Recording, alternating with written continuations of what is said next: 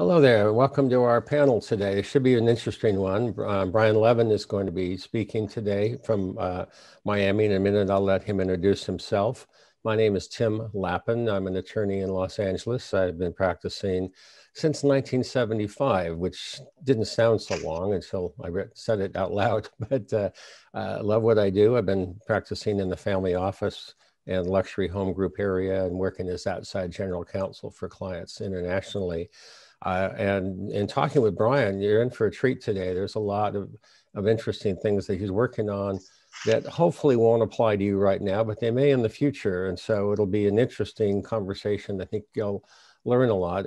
And one of the most important things I think for a lawyer to have the clients learn is uh, what should I have you look at before it gets too far down the road? And that's a, you know, typically people think they'll call their lawyer when they need one but uh, I think what Brian's going to help us become sensitized to the areas in which he can add value before there's a perceived problem. So, uh, Brian, welcome. I'd love to have you introduce yourself with your background and we can get started. Thank you so much, Tim. I really appreciate it. And sure. thank you, everyone, for being here and spending time with Tim and I today. My name is Brian Levin. I am a securities attorney based in Miami, Florida. I have a firm here that has both a nationwide and an international practice. And we represent investors primarily in claims against financial institutions. And what I'm going to try to do today is help the listeners understand what they can do to avoid needing my services. Because a lot of people and a lot of investors and a lot of companies that end up hiring me are hiring me after things have gone wrong. And a lot of those things can be avoided entirely through uh, due diligence and really being practical, uh, smart, and really do all the possible research on investment professionals and the investments that that you make. Yeah, I like the way you said that because I've always found that preventive law might be a dollar and curative law might be $5,000 or maybe not even possible. So the, the ratio for a client is even though you don't know you need someone to take a look at something, spend five minutes. Give Brian a call. I ask, should I uh, be concerned about this? I'm buying this investment or I'm going to hire this advisor and get some upfront advice.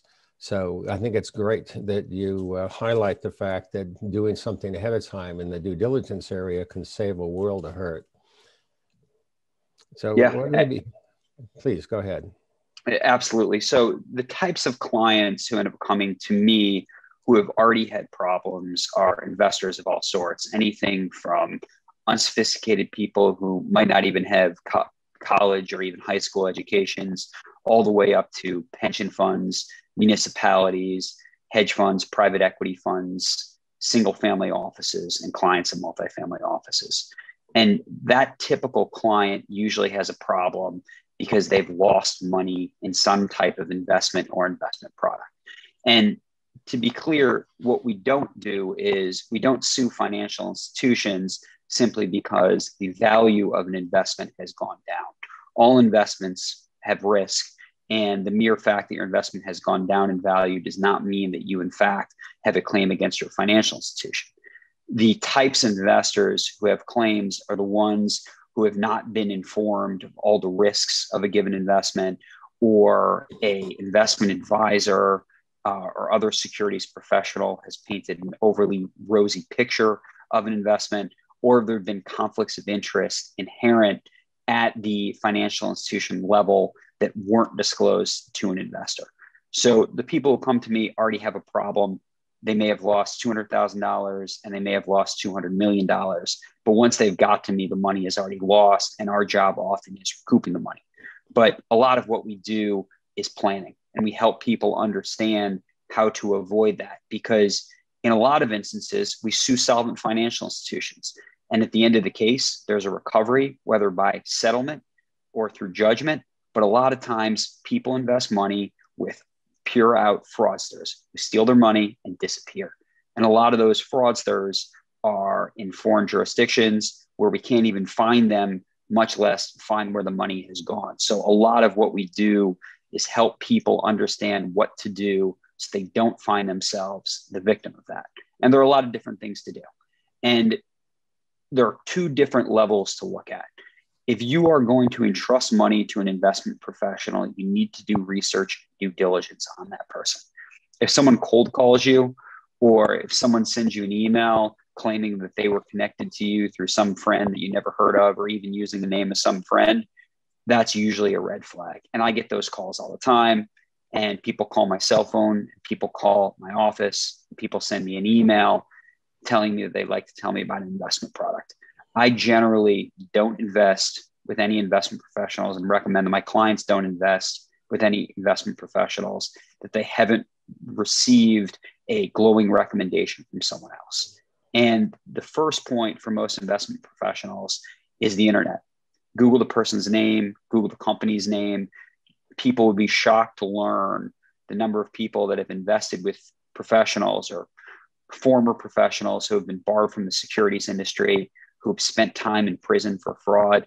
And all they had to do was do a simple Google search. Another great resource is the FINRA BrokerCheck.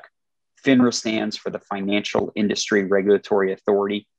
And it has a system that you can type in the name of any licensed investment professional and find out if that person has had issues with regulators, if that person has had issues with prosecuting bodies, or if that person has had customer complaints against them.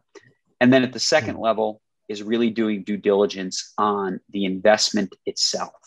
And what we always tell people is number one, make sure your investment professional spells out the risks and the rewards of any investment product very clearly in writing. And number two, make sure that you understand the investment product. As an investor, if you don't understand the investment product, you probably shouldn't be investing in. And that's true from the least sophisticated investors to the most sophisticated investors. And those two steps, doing research on the investment professional and really doing research on the investment product itself, can help people and companies avoid massive financial losses. Interesting. So a couple points come up in that. One is about dealing with people who call you at dinner and ask if you want to invest money. Uh, you know, it's it's it's a funny thing that I've had clients who are worth hundreds of millions and sometimes billions of dollars who met their financial advisor on a cold call, and I'm always shocked that they would they think that that's a good idea. Well, that person sounded nice and they knew someone, and of course, everybody who calls you is not a bad person necessarily. But uh, I like to tell my clients that if you can't drive over to the advisor's office or house, it's a much bigger risk to you because you really don't even know if they exist in the real world. They may just be a, presence on the internet. They may not even have an office more than a mail drop, as we've seen some some pretty high profile uh, fraudsters. So how do you uh, do diligence uh, when you do due diligence? How do you do it for your clients on people who aren't anywhere near where your your network exists? That's a tricky question. I mean, I, I, think the default is if you can't verify that the person or company exists physically, you know, that an actual office exists or that you've met the person in person, that's a point of, you know, do not pass go, do not invest with this person. You may, they may be nice, a nice person, uh, but I would politely tell that person that you're simply not interested in investing. Um, it's just it's just not worth it. I got a call last week from a very unsophisticated 90 year old woman in the South who had wired $800,000 to Thailand. And she was promised very, very impressive returns. And the person told her not to tell her children that she was investing the money because it was a private investment. Her money is gone. Um, there's there's there's nothing to do about it. There's nothing I can do to help that person, and the person seemed to think the federal government could somehow claw back the money, and that simply doesn't exist. That money is gone forever. Wow.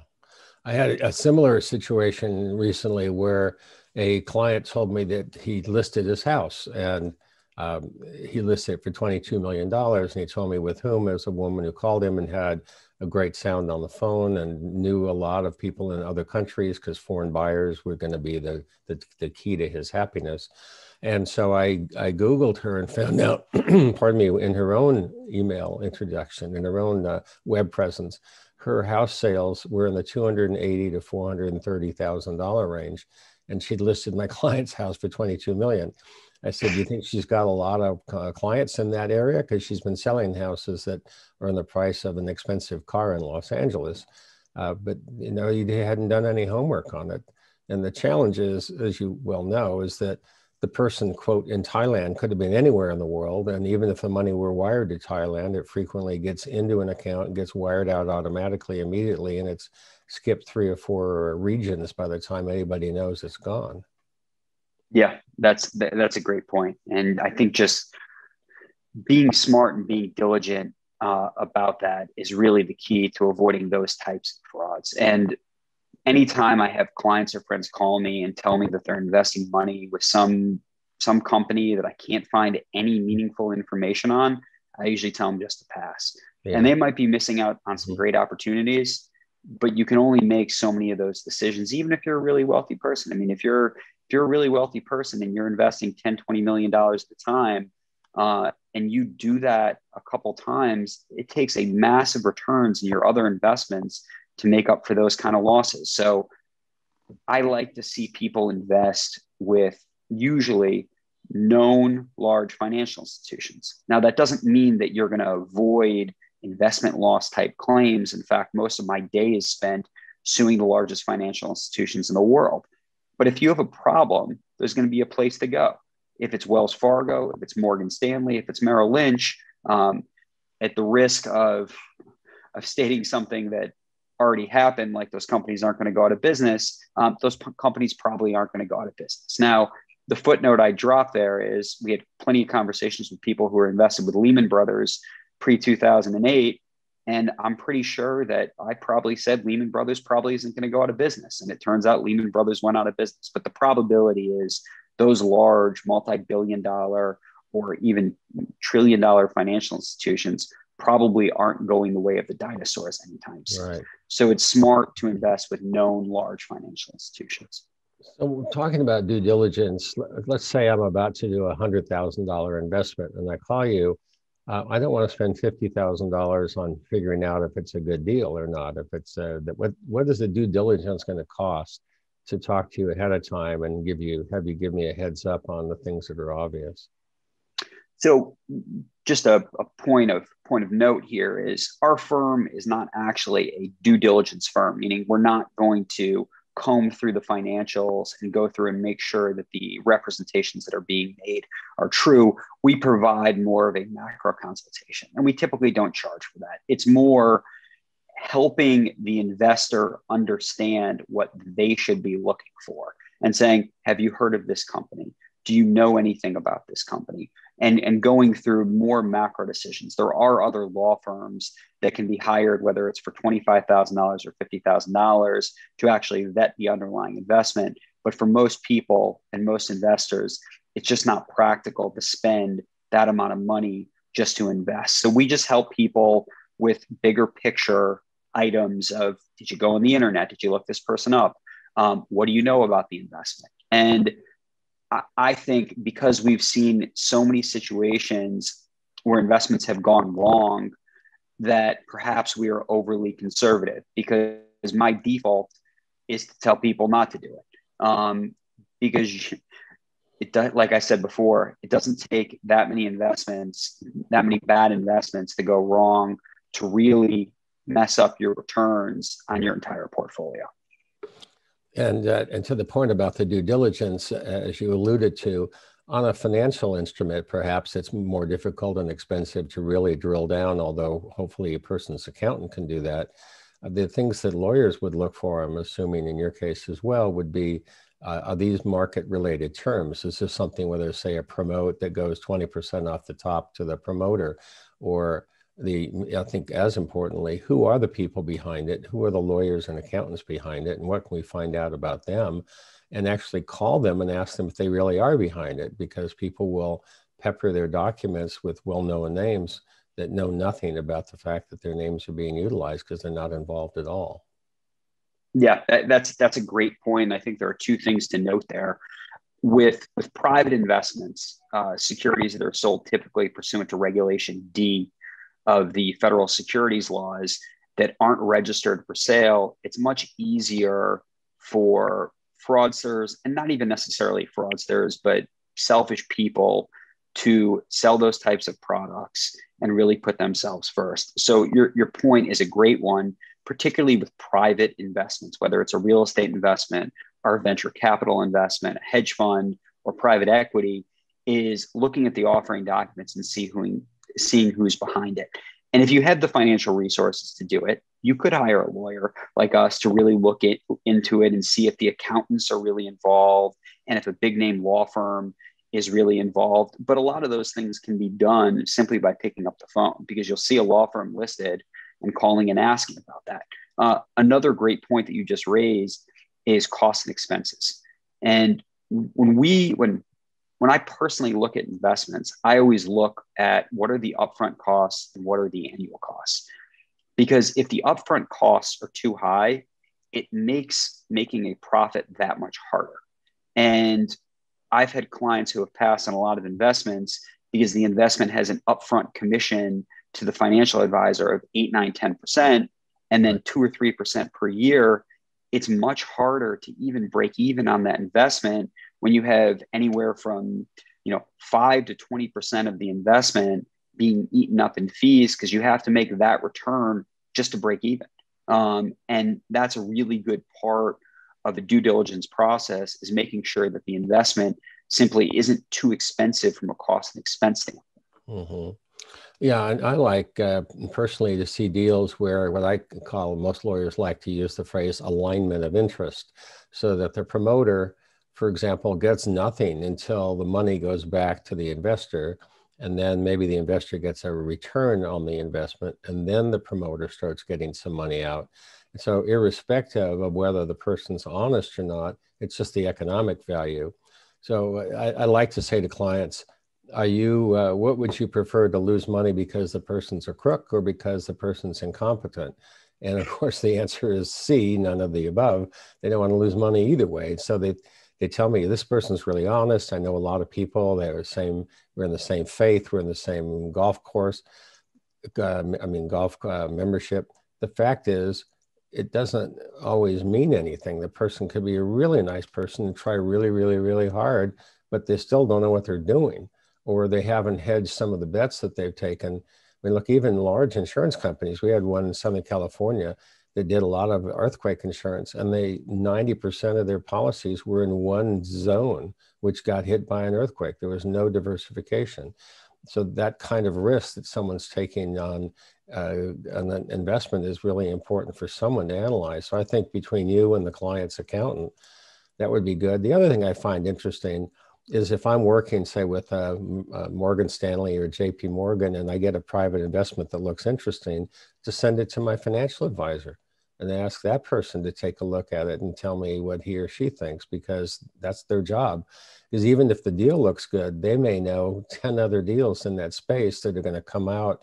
And you know you don't want to have a great idea for a say electric car and then find out that there are 15 other cars coming to market by highly capitalized companies. That's a great point and i actually had that happen relatively recently. Uh, someone forwarded me a friend of mine forwarded me a private deal just to get my thoughts on it and i said oh, i'll send this to my financial advisor and i sent it to her and within the hour she emailed me back she said well there are upfront costs in the first year of around 20%. Number one. Number two, it was it was an automotive related investment. Uh, the research report that they're relying on is nearly two years old, and the outlook on the auto industry has changed dramatically. And number three, these guys seem to have no experience in the auto space. Um, those were all red flags for me. I mean, those were Absolutely. those were things that you know would I, mm. I pass the information on to a friend and you know those those are the types of things that you want to look at and, and tim you just touched on another point that's really important which is diversification um, diversification from an investment standpoint and i'm not an investment professional and i'm not giving investment advice here but from a risk standpoint and avoiding needing my services and being the victim of whether it's investment fraud or just financial, you know, financial investment negligence is don't put all your eggs in one basket. And if you have an advisor who's recommending that you put all your money in an energy based portfolio or put you know 50% of your money in a single equity position or even 25% of your money in a single equity position usually that's a bad idea because whether it's wrongdoing on the part of the financial advisor or simple market decline you end up subjecting yourself to a massive amount of risk unnecessarily so. And it's it ends up being uncompensated risk. What's interesting about what you just said is that great concentrations have led to great wealth but uh, and it's like saying a good outside shot has led to an NBA career, but your chances are one in 439,000 of being that person picked. It's not going to help you very much. Uh, great concentrations have been made, but greater concentrations have been uh, have lost money dramatically because of that. And even people who were very astute investors, they had some uh, you may know of from the uh, the, the downturn earlier in this uh, century where they actually had very well-known financial advisors uh, commit suicide. They, they, they were completely blindsided by what happened. And certainly a lot of people didn't expect the pandemic to hit. And you have a restaurant in six different uh, zones of the country. You figure, well, I'm, I'm geographically uh, uh diverse. And then look what happened when they all got shut down and then each city and each state had a different rule about how you can come back as a as a, restaurant and whether they get any special uh, treatment under the law. So it's it's it, there's a lot there, and not every risk can be ameliorated, but certainly for the things that you see on a regular basis, I would expect that some homework up front would have really increased the odds unequivocally, you, you raise a good point. A, a, very a friend of mine who's a financial professional in California recently said to me, he said, "Do you know how the majority of people got on the Forbes 100?" And the answer was concentrated positions in publicly traded in publicly traded securities, typically their own. And it was that's the same concentration of people who ended up off the Forbes 100 because yeah, um, right. it's a massive amount of risk. And the other thing is, if you're an ultra high net worth person, um, you should be in preservation mode. And to subject any significant percentage of your net worth when you are investing in a passive investment to a single investment just doesn't make sense from a risk adjusted standpoint. If you already have enough, you know, enough money, whether it's to live for the rest of your life or for the next 10 generations, to put a significant percentage of your money in one investment just doesn't make sense, which really leads to my next point is if an investment seems too good to be true, it probably is because the risk reward paradigm is real. And the more risk you take on, uh, excuse me, the, the higher the reward, the greater level of risk that you're taking on. There was a group of uh, investors who I represented about four or five years ago, and there were about a dozen or so families that invest in the same product with the same bank. And this was a little after 2008 and it was a, a, a European based real estate fund.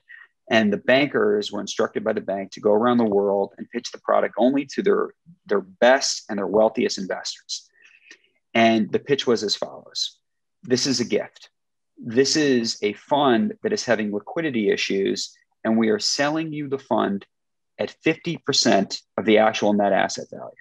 And on the very first day you buy it, you will have 100% return, but there's a three year lockup and we expect, and I don't remember if it was a three, four, or 500% return after the three year lockup.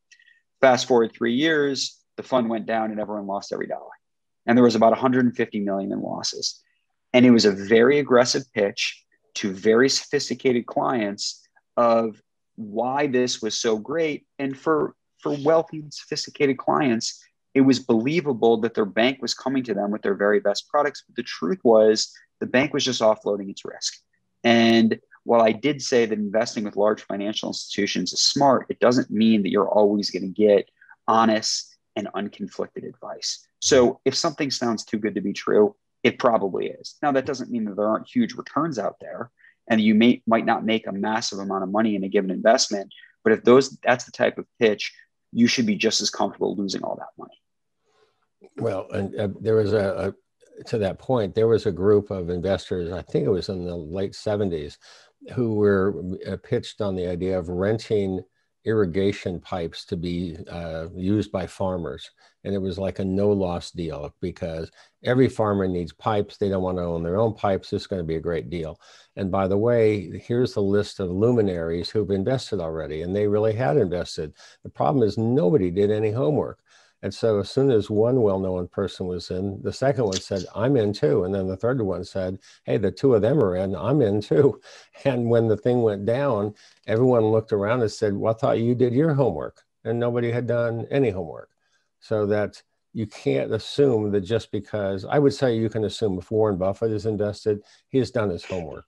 But if it's a, a movie star or a singer, um, no disrespect, but that may not mean that they've done any homework at all or maybe it's their cousin's friend who's their manager who did the homework, but you really have no way of knowing. You got to do your own work in, in, order, or at least it has to come from a source that you know is really unbiased and intelligent.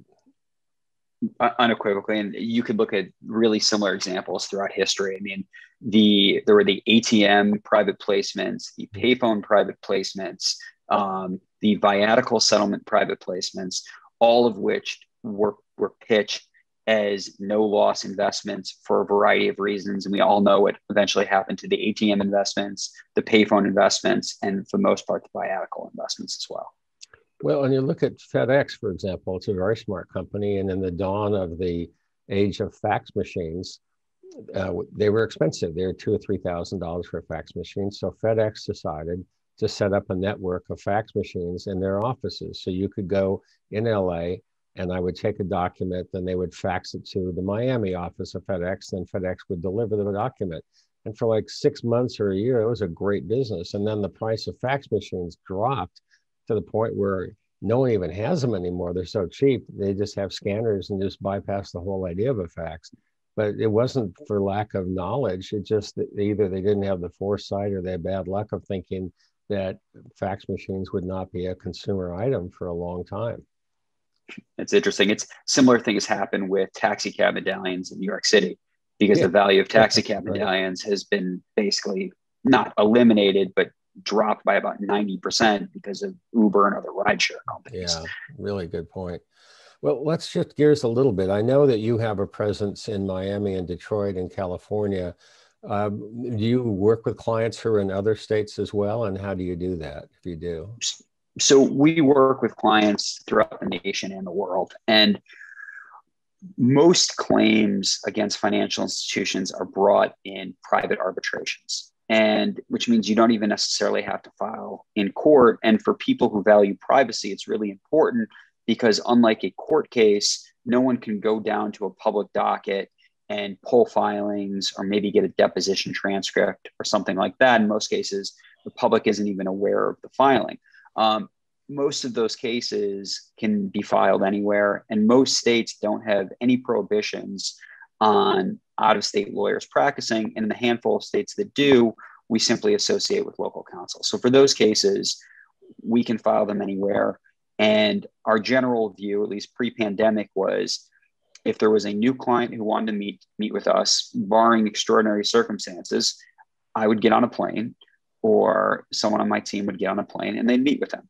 And plane travel used to be very easy and quick. Um, and we represented people, we still represent people throughout the country and the world. And that includes jumping on a plane and going to a foreign jurisdiction. Uh, the majority of my practice historically has been representing people in South America and Mexico and Central America as well. So the geography really doesn't matter from our standpoint. And even in situations where we're filing claims in court, um, we simply associate with a local lawyer if we're not barred in that state. What we bring to a representation is our experience. What we bring to a representation is our relationships with banks and financial institutions. Because when we file a case, chances are the financial institution has dealt with me before. Um, they hopefully think that I'm a good and competent lawyer. And they hopefully think that, or hopefully take me seriously. And usually the lawyers on the other side are people we know. And that's true regardless where the case is. And we also get involved in cases outside the United States. Um, I've litigated cases with the help of Swiss counsel in Switzerland um, and other jurisdictions as well. Interesting. So typically, though, when you have an institution that has an arbitration clause in their uh, subscriber or their customer agreement, does that provide for a, a, a, choice of venue? Is it actually at the headquarters of the financial institution, or is it where the uh, customer is located, or where is it brought? So, as I mentioned before, FINRA stands for the Financial Industry Regulatory Authority, and FINRA has an arbitration dispute resolution forum and if you have a dispute with almost any major and, and smaller financial institution, whether it's Goldman Sachs, Merrill Lynch, or Morgan Stanley, that's usually subject to a mandatory arbitration agreement. And under FINRA rules, the case is venued and the location closest to where the customer investor lived during the time in question. Um, so if you're in South America, your case would likely be venued in Boca Raton, uh, Florida. And if you were in Mexico, depending on where you are, your case would likely be venued in Houston. So even if you're offshore, and even if you're, you know, if you're in Hong Kong or if you're in Mexico or even if you're in Africa, your case ends up getting venued here in the United States, um, regardless of where you are in the world. Interesting. Uh, let's also ask. Uh, we, I know that you practice in other areas besides securities uh, involved cases and with financial institutions maybe you could talk a little bit about that and if there's some crossover between them or if those are just separate uh, areas of your practice. So, our firm has some distinct practice areas, but they're all ultimately related. Um, we do some trust, probate, and estate litigation, uh, and that is often an ancillary to a lot of the securities litigation. And the, the core idea behind it is the same it's fiduciary duty litigation. And if you're suing a trustee or if you're suing whether it's a corporate or individual trustee, there's usually some component of breach of fiduciary duty. And a lot of times we will have parallel claims. You know, for example, a, a, a woman dies and her her estate unfortunately gets probated um, and then her son takes in as the per- comes in as the personal representative and looks and mom's account went from $10 million to $1 million over the course of the year. The son is usually going to call me. So sometimes we'll have claims within the probate uh, or if it, there's a trust involved and also have parallel claims in FINRA arbitration. We do class action work uh, in the securities arena as well as in the consumer arena and we also do a lot of work with respect to shareholders' rights. Um, a lot of times representing minority shareholders who have been squeezed out by larger shareholders, whether it's in public or privately held companies, although more so with privately held companies. And a lot of the ideas behind those claims are, are similar to the securities claims, conflict of interest, breaches of fiduciary duty. And all those practice areas are distinct and don't always overlap. They are similar and kind of the philosophy behind them is all similar as well. So under the category, excuse me, of a little knowledge is a dangerous thing. A person might own 10% of a corporation and feel, well, you know, I didn't do very well there, but I only own 10%, so I really had no control. And as, as you will know, that me, doesn't mean that the majority can do whatever they want. And so uh, that's another example of somebody needing to actually check in before deciding this is a total loss uh, statutes limitations are important. Uh, they don't wait too long before they proceed against the, the evildoer. But uh, have you, you, I presume you, and you've handled cases like that where the people on the majority side may have had the power to do something, but it wasn't the right thing to do, or even permissible under the law. You you just raised several great points, Tim, and there's really a question of what your legal rights are, and that's true in minority shareholder disputes and is true in securities disputes. And most people or most people who come to me often say, I didn't know I had any rights in this in this regard.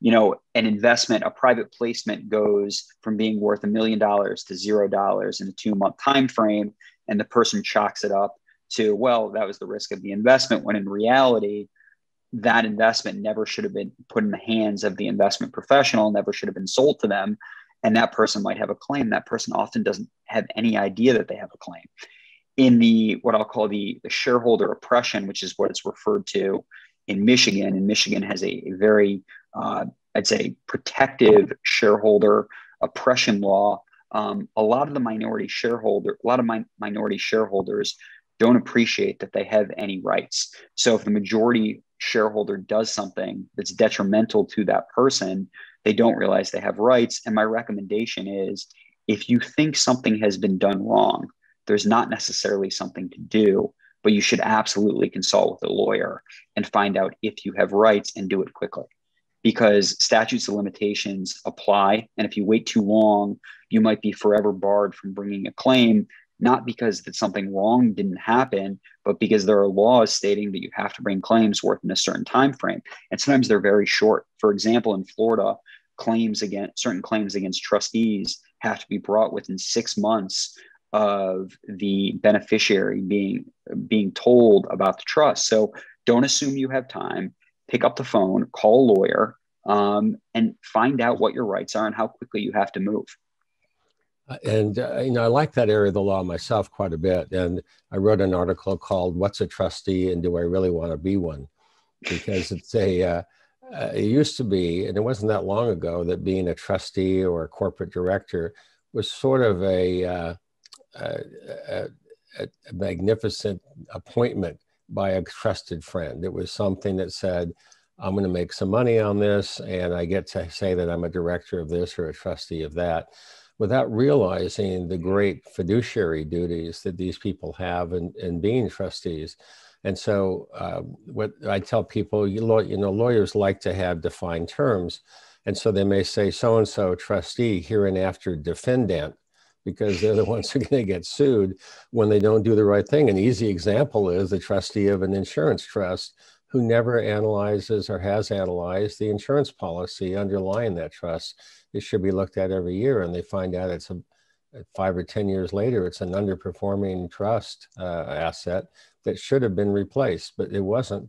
Or they didn't send out the required notices, the Crummey notices, or whatever the obligations of trustees are, are really many. And I, do you do that kind of work where you advise uh, people who create trusts uh, what kind of responsibilities the trustees have?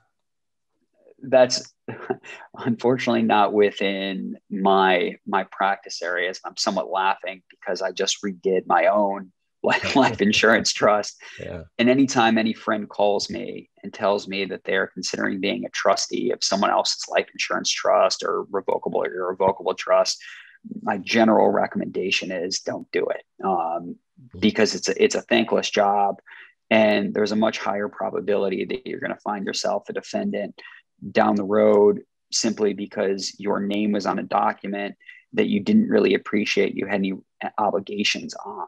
Um, and I think that's true as in, in other fiduciary capacities. I mean, it's one thing to do it for you know your spouse or a kid or something like that. Although I'm not even sure that's a great idea. Um, but no, that, that's that type of planning is not within the sphere of what we do. Although we do know a lot of professionals who can help with that.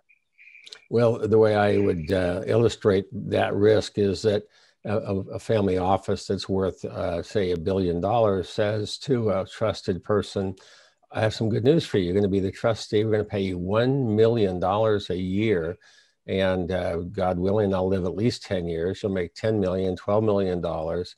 And when I die, my kids, my four kids will each be worth about $300 million if they decide to sue you, I'm sure the 10 to 12 million you've made over the past decade will be more than enough to pay the legal fees to defend yourself from these multi-million dollar centimillionaire children of mine who are going to be unhappy about one thing or another like well why was why was billy's trust in this deal and susie's wasn't? And uh, why did you buy that office building that's no longer worth much money yeah, no, that's a great point. Although there is a point where financially it might it might be worthwhile. Um, certainly, the the no compensation trustee usually is not worthwhile. Oh, that's for sure. It's also sort of a rule. It's almost like the Peter principle. If you're doing work for free, and maybe on the, on an annual basis, it's only 40 hours for the year. 39 of those hours will come when you're phenomenally busy with other things, and it'll be really resentful of having to take it on at that point. So I, I, agree. Do, doing it for free makes no sense. At least, at least the trustee should have an indemnification clause in the trust that says if I get sued by the beneficiaries, the trust will pay my uh, legal fees And that will not work, of course, if they actually did something wrong or the court agrees that they did something wrong. You can't benefit by your own uh, bad actions. So let me ask you, since people will say sometimes, you know, it sounds great to have all these legal services, but I'm not a real wealthy person. I can't afford a big time lawyer like Brian. Is, is there a, a, minimum wealth level that people have to have for you in order to be a client of yours? Or do you represent people across a, a, a broader spectrum than that? Uh, we absolutely represent people across a broader broader spectrum than that, and our firm represents clients on a variety of financial arrangements, ranging from pure contingency, mm-hmm. where if we're filing a claim, we don't get paid unless we recover money. And a lot of situations, we advance costs to pure billable, where we're paid by the hour. Sometimes we're paid flat fees or a series of flat fees or a combination of, of any of those but most of our representations are contingency fee representations and a lot of people who hire us uh, don't have any money left. They, you know, they they invested with a financial professional who put them in a bunch of investment products that are worth nothing, or they're worth twenty percent. They don't have any other money. Um, we also represent the ultra wealthy. You know, we've represented people who are worth billions and billions of dollars. Um, and we treat everyone the same. Everyone gets the same concierge service. It doesn't matter if you have a hundred thousand dollar net worth or a $10 billion net worth. We treat all clients the same. And if there is a way that is both advantageous for the client and my law firm, we do our best to come up with terms and we take on some smaller cases sometimes. I mean, sometimes cases are only over $200,000 and we take large cases as well. I mean, we've had recoveries in, in the nine figures. Um, and ultimately, the goal and the philosophy behind our firm is really to help people and to make everyone realize that they have rights. And if they've had a problem and there's wrongdoing, there's recourse. And although we can't take on every single case that comes in the door, we do our best to help people in ways that we can. And you talked before about uh, representing clients vis a vis banks and uh, brokerage houses. What about the smaller operators, a private promoter of an investment or of a hedge fund or private equity deals and things like that. Are you uh, taking those kinds of cases? Yes, although I, I wouldn't say we're more selective. They're just a little different um, because a lot of times, in a, in a lot of situations where investors have invested in, in maybe a, a standalone deal, uh, there might not be anyone to sue. I mean, if you invest through a financial institution, if, if, for example, if your financial advisor recommends that you invest in a, in a certain private equity deal and that financial advisor didn't do their homework and didn't conduct adequate due diligence, we can bring a claim against the financial advisor. Uh, but ultimately, we need some solvent third party. And a lot of private equity firms may engage, well, private equity firms, hedge funds might engage in some type of wrongdoing, and they may be large enough that it's worth suing but unfortunately we can't get blood from a stone. I mean if the if you invested with a hedge fund operator who has no more money and fled to some foreign jurisdiction there's nothing left we can try to help but there might not be anything to do. And filing a lawsuit against a person or a company that has nothing isn't helpful. But we do bring those types of claims. And we also represent private equity companies and hedge funds in claims against other financial institutions uh, sometimes in more technical type claims where you may have an interest rate swap and the swap uh, wasn't calculated correctly. So you may have a, you know, say a $10 million loss when in reality there should be no loss at all, uh, and in other type of derivative contracts. Well, we've all had the experience of signing long documents and having the person on the other side of the table say, you don't really need to, to read it. You just click here and you can docu-sign it. And so then they come to you with a problem later, and it says here on page 49 that I accept all risk. Have you dealt with situations like that where the, uh, the, the claim is that it was all accepted here in this lengthy, lengthy document? Yeah. And sometimes that poses a real problem for the case um, because words have meaning and your signature has meaning. It has legal meaning. When you sign something saying that you've read and understood it, a court looking at it is going to find that you read and understood it. Um, but every situation is different. Um, and sometimes we'll have situations where you may have a signed subscription agreement that basically says you're probably going to lose all your money. This is a terrible idea. And the person signed it. But you may have a parallel sales piece that says this is a conservative investment and you're likely to double your money. Um, or in situations where those sales materials are just grossly misleading. I mean, we represented a group of investors in claims against a large financial institution where the product was actually called 100% principal protected and it went to zero. Um, so there were written risk disclosures, but when the product itself and the term sheet say it's 100% principal protected and it has various illustrations, and none of those illustrations show the investor getting anything other than 100 cents on the dollar, um, then some other parallel risk disclosures certainly are not the death knell to a case. Yeah, that's interesting. Well, I could, I, I can see how that could be very challenging to try to overcome because words do have meaning, but of course, courts can look at the relative bargaining power of each and also contemporaneous statements if they can l- believe that the person was told just go ahead and sign it you know they especially if they show that it was emailed to me and it was signed within five minutes there's no way i would have read 100 pages in that period of time especially if the cover email says something to the effect of this is our standard deal just please initial you don't need to look at anything other than page 49 where you sign it yeah, or or worse, which happens a lot in the financial services industry, is uh, a financial advisor or a sales assistant will have the client, the investor, sign documents in blank and send them back, and then they basically just Frankenstein the documents back together, even though the person never actually read or signed the documents. They just signed the last page. Wow, wow. So let's uh, we've got the, the, a few minutes left here, maybe ten or so. Uh, any cases you want to tell us about that are particularly interesting that might be uh, either illustrative for some of our uh, audience members or just particularly stressful or interesting in other ways you'd like to share with us? Um, sure. Uh, we recently had a, an arbitration award in a case earlier this year against a financial institution, and it was similar to what I was describing before. The financial institution had sold a private equity investment to primarily wealthy, uh, relatively sophisticated investors. And the financial institution's defense was, well, they were sophisticated, you know, they knew all the risks. And we got the internal communications and we found that the financial institution had done extensive homework on the investment and had raised a bunch of red flags and had come just shy of concluding that they shouldn't sell the product anymore hmm. because of undisclosed conflicts of interest. And uh, the sorry, my my Zoom just went out for a minute there. And ultimately, the arbitration panel agreed with us because the law in the securities world is the financial institution does have an obligation to do due diligence.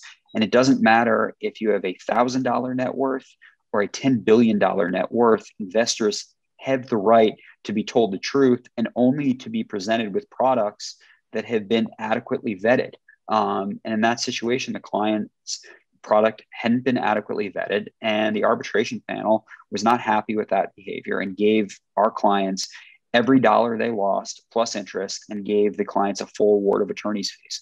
So the clients were totally made whole. Now that's that's a bit rare, um, but it acted as a cautionary tale to financial institutions that in defending those types of cases have typically taken the position that if you have a wealthy client, wealthy must mean sophisticated. And it doesn't. Um, otherwise, every wealthy musician who may or may not have graduated from high school or, or college um, would also be sophisticated. And that's just not true. So we're we're certainly proud of that result. Um, and that result is indicative of, of, of, other cases, other similar cases as well. Mm.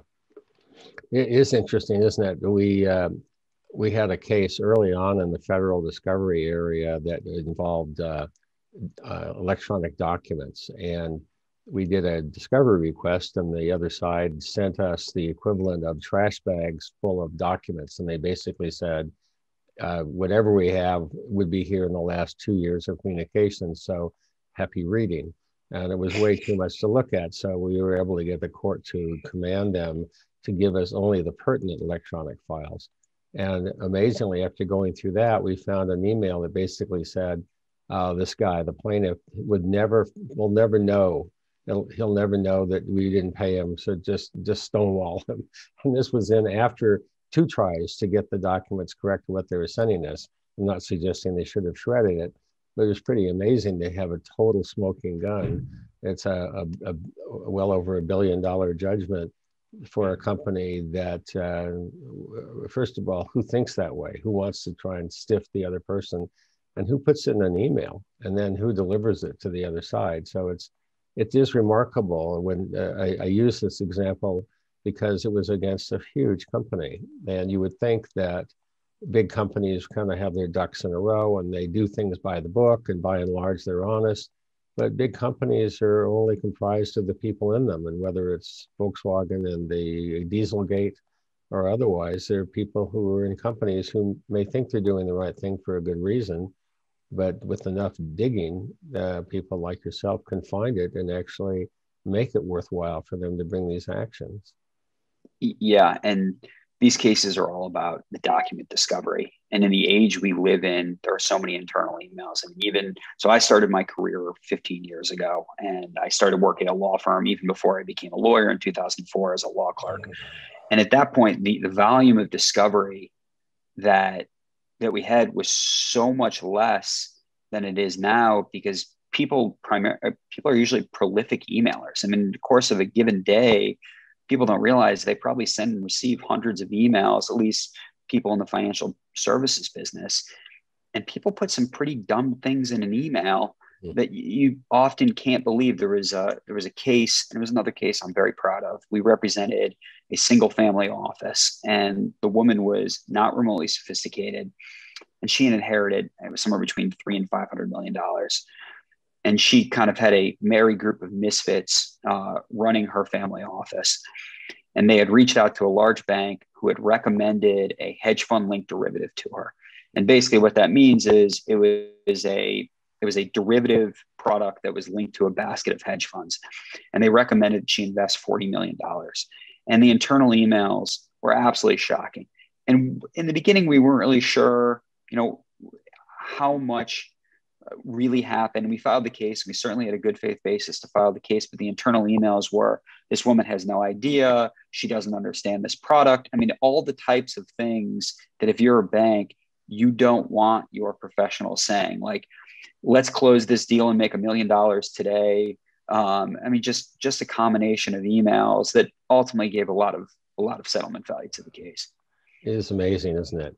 Well, that that's the good thing about uh, kind of righting the wrongs. I I think we share a belief that there are people who do the wrong thing in this world, and they should be held accountable. And it's a very rewarding thing to be able to help make that happen. Yeah, that's that's I, I feel good when I get up in the morning. All right. So sorry, we had a little technical glitch there. I don't think we can blame anybody in particular. So we'll just say sorry about that. But uh, through the wonders of modern science, we're back to say goodbye.